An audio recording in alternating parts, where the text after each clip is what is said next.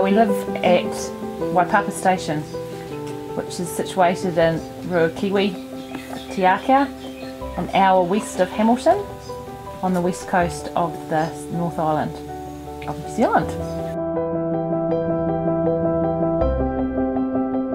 We like cattle breeding because it's uh, for us it's uh, something that we've been brought up with and it runs in our veins and I guess it's the closest thing to addiction that you can have and uh, we are both very very passionate breeding an animal from start to go so to be able to make a business out of your passion and hobby is Pretty cool. pretty cool.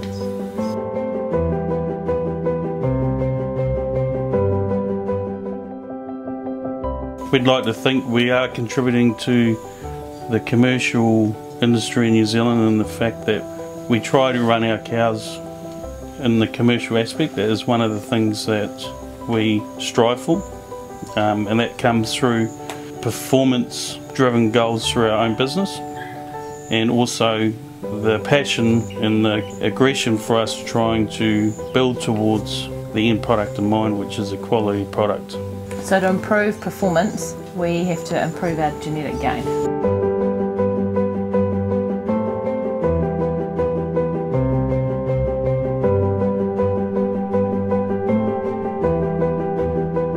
We believe uh, what we're doing to change the cattle industry uh, in New Zealand is taking on science, um, and some of those things is uh, EBVs. Uh, we're using uh, traits and measuring our stock from birth right through, and by recording all this information, we're getting more of a idea on where each individual stands. So when we measure a lot of these traits, it's all the traits that you can't see from the outside. So we're identifying the stuff on the inside that in years gone past weren't available to us. Those tools weren't available. So we've we've really used those tools in our breeding program and it's really exciting when we start looking inside the animal.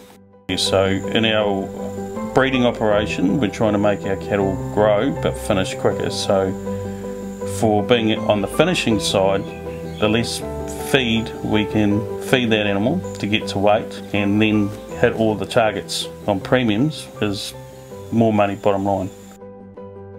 When it comes down to breeding great females, we if you haven't got a great cow herd you don't have anything and our females are, is our investment for the future. Every day when we do a, a mating or every day when we get up it's to breed that great female.